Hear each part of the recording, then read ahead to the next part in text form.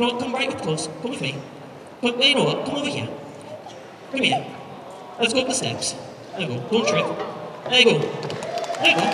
Come say hi. So I already know this young lady because she was she came to see me today. Her name is Monique. Monique. And she's here with Janae, right over there. Hello, Monique. Hey, would you like to ask you a question?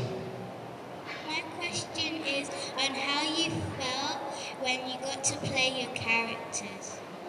So, so, so excited, so grateful.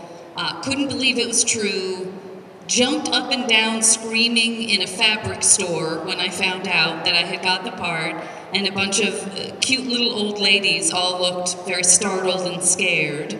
Um, they were already wondering what I was doing there. So, uh, so that's what it was like for me. How was it for you, Dante? I felt good also. I don't remember actually. I don't remember.